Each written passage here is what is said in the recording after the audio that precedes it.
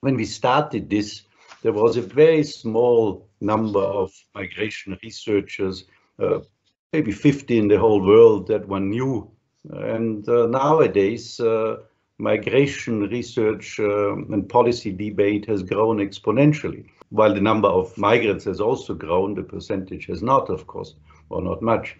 Having this debate at IOM and inside a regular publication really helped put the organization on the map as a source for this growing community of interested people and interested institutions. And given the fact that now it is widely available on the web in various languages, makes it even more useful at a time when migration debate is not always focused and especially the public debate not always based on facts.